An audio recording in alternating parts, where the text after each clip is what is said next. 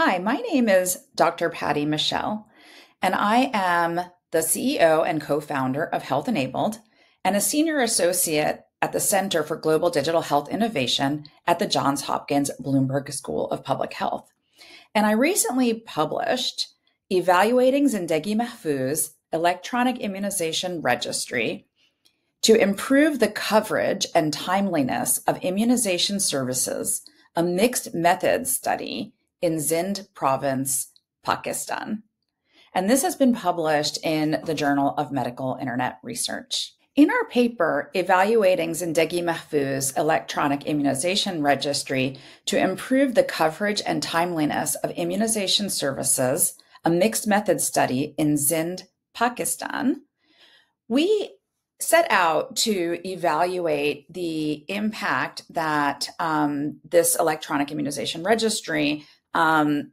in Pakistan was having on how vaccinators and supervisors and district health information officers, as well as the overall um, essential program for immunization, was using Zindagi Mehfooz to very actively um, improve uh, the way that they were monitoring the coverage um, and timeliness of the immunization services that they um, that they were facilitating and providing.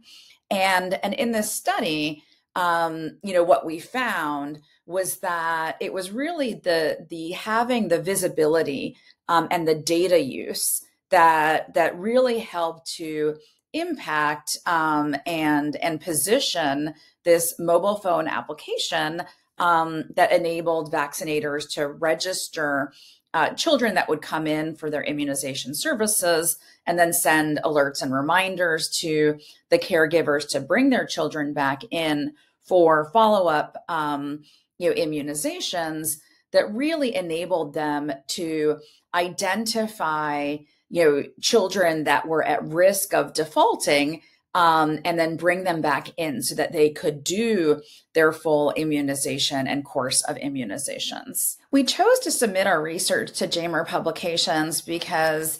it has the highest journal ranking um, of any journal uh, in the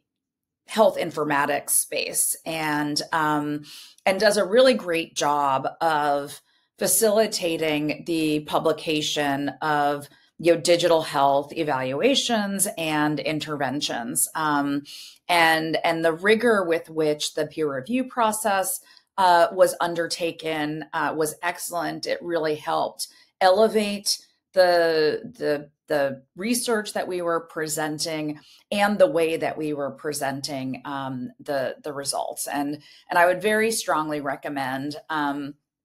to others to publish your digital health publications and and evaluations with uh, with the Journal of Medical Internet Research.